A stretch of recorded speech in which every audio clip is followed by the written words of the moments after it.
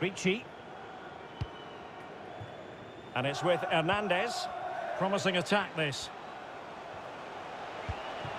Will he find the net? Oh, a moment of pure class!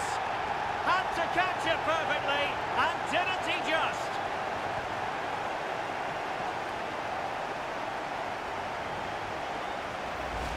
Well, here it is again. The cross is inch perfect, just begging somebody to run onto